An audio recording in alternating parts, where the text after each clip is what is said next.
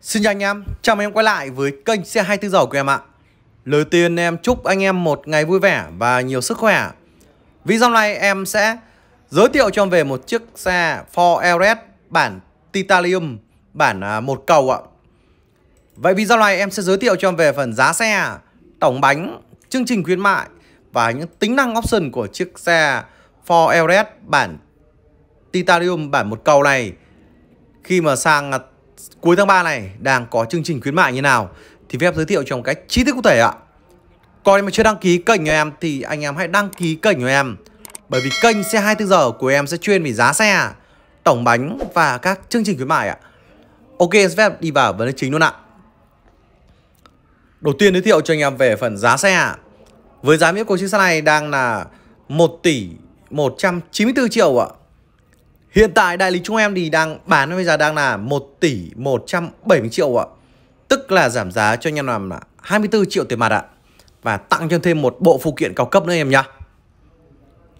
Vậy thì chiếc xe Ford Everest bản Titanium, bản một cầu này Năm anh Nổi đang là 1 tỷ 336 triệu Trả góp thì đang là 414 triệu ạ Còn là tỉnh thì đang là 1 tỷ 294 triệu Trả góp thì đang là 372 triệu ạ. Còn ở thành phố Hồ Chí Minh thì đang là 1 tỷ 312 triệu. Trả góp thì đang là 389 triệu ạ. Còn em muốn được giá tốt hơn hay khuyến mại như nào, tặng phụ kiện là sao, chi tiết bài như nào thì anh em có điện cho em hoặc nhắn tin Zalo cho em. Chắc chắn với em giá đấy sẽ là tốt nhất trường nhầm nha.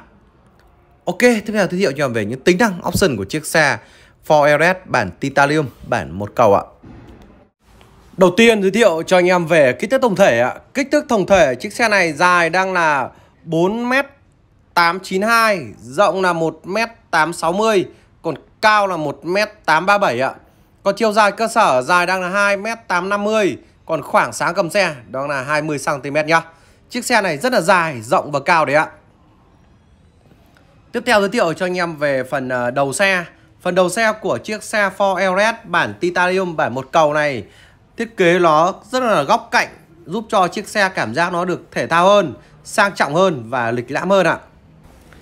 Tiếp theo giới thiệu cho anh em về phần à, mặt lưới lăng. Mặt lưới lăng của chiếc xe Ford Everest này thì à, viền xung quanh được mạ chrome tạo cho cho phần đầu xe có cảm giác nó được à, rất là sang trọng anh em nhá. Đó. Tiếp theo giới thiệu cho anh em về phần cản trước này, cản trước của chiếc xe này thì nó sẽ có là cảm biến góc trước bốn mắt đấy ạ. Tiếp theo giới thiệu cho anh em sang phần uh, cụm đèn ạ. Cụm đèn phía trước của chiếc xe này nó sử dụng là đèn uh, đèn led nhá. Cụm đèn này thì nó sẽ có chế độ uh, điều chỉnh đèn pha cốt bằng chỉnh tay nhá. Còn bản hai cầu thì nó sử dụng là chế độ tự động đấy ạ. Đó. Và ngoài ra thì chiếc xe này tích hợp thêm đó chính là có giải đèn led ban ngày giúp cho phần đầu xe nó được sang trọng hơn ạ. Đó. Tiếp theo giới thiệu cho anh em về phần mặt cản trước này dưới mặt đèn gầm. Đèn gầm nó sử dụng là đèn à, halogen nhá. Dạng phản xạ đơn hướng đấy ạ. Đó. tiếp theo giới thiệu cho anh em sang phần sườn xe. Phần sườn xe của chiếc xe Ford Everest này thì nó được dập nổi rất là nhiều giúp cho chiếc xe thiết kế khí động học giúp cho chiếc xe nó được uh, cản chống cản gió tốt hơn rất là nhiều ạ. Tiếp theo giới thiệu cho anh em sang phần uh, bánh xe. Bánh xe chiếc xe này do nó sẽ vành đúc hợp kim nhôm vành à, uh, 20 inch đấy ạ. Vành 20 inch nhá, rất là to bản đấy ạ. Phanh trước và phanh sau đều là phanh đĩa nhá. Các tính an toàn như hệ thống phanh ABS, phân bố được phanh điện tử LED. Bản một cầu này nó sẽ không có cảm biến Anselop đâu ạ. Cảm biến Anselop chỉ dành cho bản uh, uh, hai cầu thôi anh em nhá.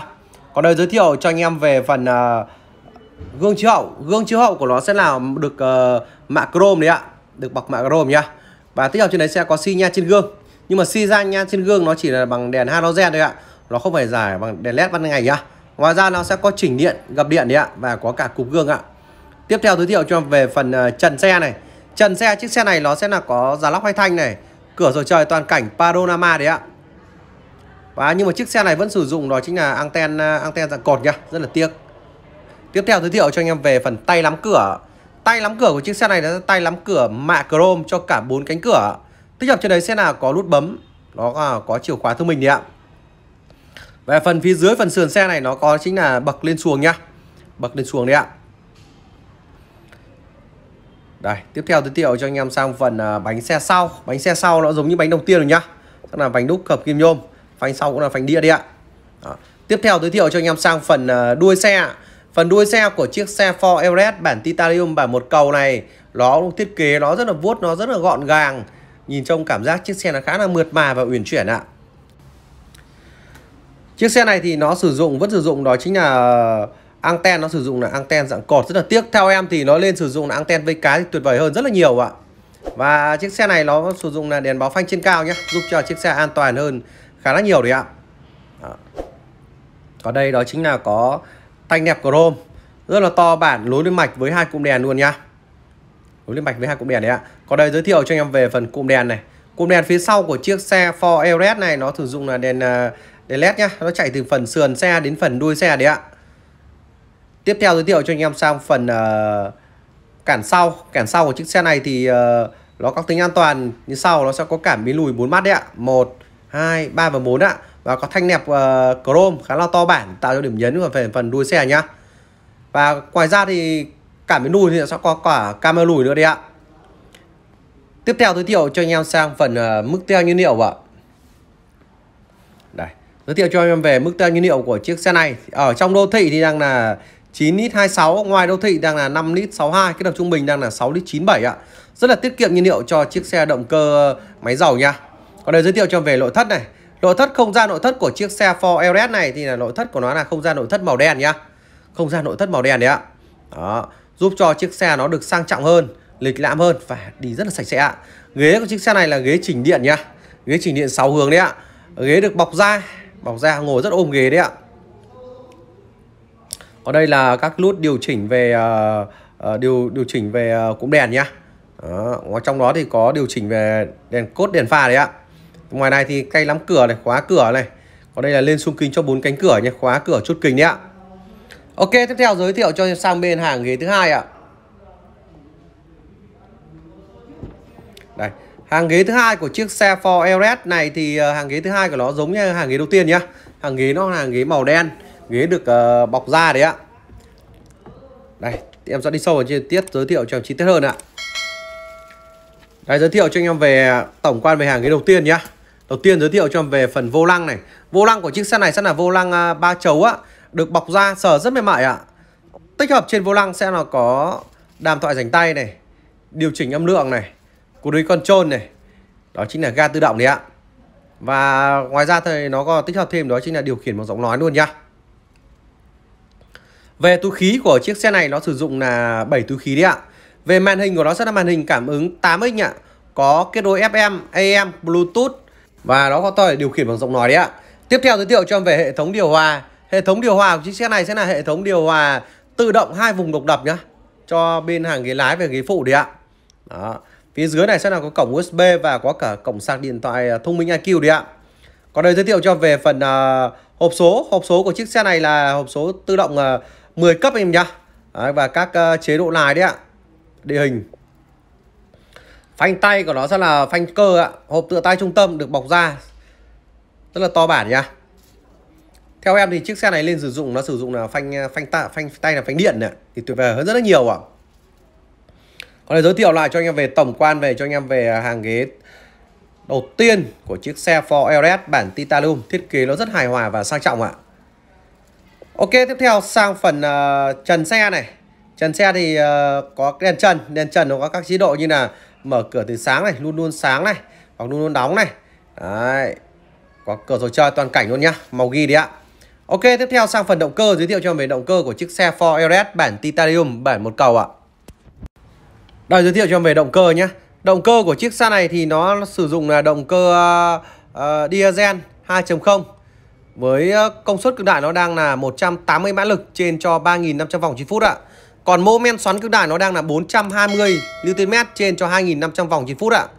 Chiếc xe này nó sẽ là dẫn động cầu sau anh em nhá. Đó. Chiếc xe này thì nó sử dụng là trục cam kép có làm mát khí lạp đấy ạ. Dùng cho động cơ diesel thì rất nhiều hãng xe nó sử dụng là làm mát đường khí lạp đấy ạ. Động cơ 2.0 sử dụng turbo thì chiếc xe rất là khỏe mạnh em nhá. Ở đây giới thiệu cho em về chi tiết hơn này cái màu vàng này đó chính là nước làm mát này cổ hút để lên rất là cao rồi đấy ạ đó. Về phần động cơ của chiếc xe này nó sử dụng là động cơ 4 xi lanh thẳng hàng nhá. Còn ắc quy sử dụng là ắc quy khô, rất là to bản đấy ạ. Cầu chì này, ở bên trong này đó chính là dầu phanh màu vàng, đó chính là dầu phanh đấy ạ. Đó. Rồi quay lại cho em về chi tiết hơn về phần động cơ của chiếc xe Ford Everest ạ.